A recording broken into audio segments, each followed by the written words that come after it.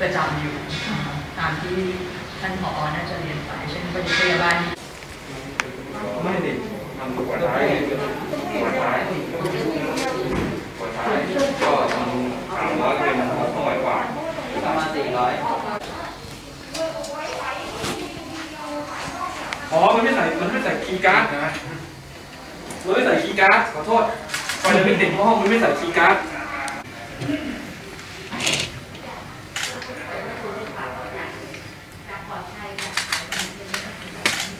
เลิกเช็คเทคนิคกันอีกสองครั้งนี่เลยก็คือยต้องอยู่ CPU ต้องอยู่ก่อนห้องโรงพยาบาลเรื่องนี้คือการดูในก่อนคือระบบโควิดเนี่ยเราไม่หาแล้วคือแต่ก็ออกจากปรับได้ต้องการตัวต่อคือ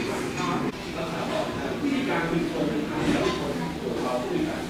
ป็น แค่ห้องเฉยๆครับทางเดินอย่างนี้ได้ไหมถ้าเป็นทางเดินตอนหลังน้องได้แต่ต้องเห็นเฉพาะหลังห้ามเห็นหน้าเด็กตายแล้วครับก็ถ้าเป็นที่โรงพยาบาลหลักตอนนี้มีประมาณ4-5คนครับผมแล้วก็ที่โรงพยาบาลสนามแห่งนี้นะครับ ตอนนี้ได้มาอยู่ทั้งหมด 2 คนครับแล้วก็น่าจะคือเมื่อวานนี้เราได้เริ่มทดสอบระบบของโรงพยาบาลสนามครับก็เรายังรับไม่ได้เยอะเพื่อจะดูว่ามีความพร้อมแค่ไหนทั้งในแง่ของการบริหารจัดการแล้วก็ผู้มาที่มืออุปกรณ์ ตอนนี้โดยรวมก็ก็มีความพร้อมครับงั้นตั้งแต่วันนี้เป็นต้นไปที่นี่ก็จะสามารถรับผู้ป่วยได้เพิ่มมากขึ้นเราแปลว่าอาจจะประมาณวันละสิบสิบสิบคนต่อวันนะครับ ก็คงจะมีการทยอยในการรับผู้ป่วยต่อไปครับสำหรับอ่า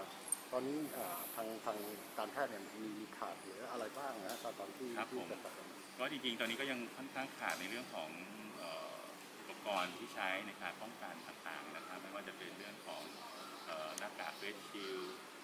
แมส N95 ชุดที่จะใส่นะครับ เพราะว่า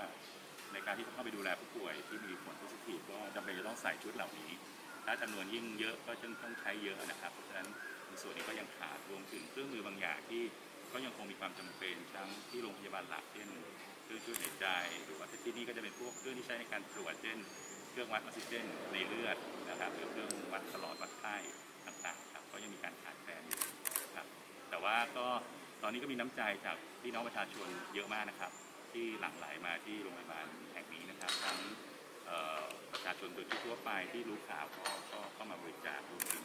สิทธิ์เก่าธรรมศาสตร์ก็เข้ามาทยอยกันมาที่จะมาบริจาคเงินให้กับโรงพยาบาลแห่งนี้ก็ต้องขอกราบขอบคุณครับเอ่อพ่อแม่พี่น้องแล้วก็ผู้มีจิตศรัทธาทุกท่านที่ที่ให้ความกรุณา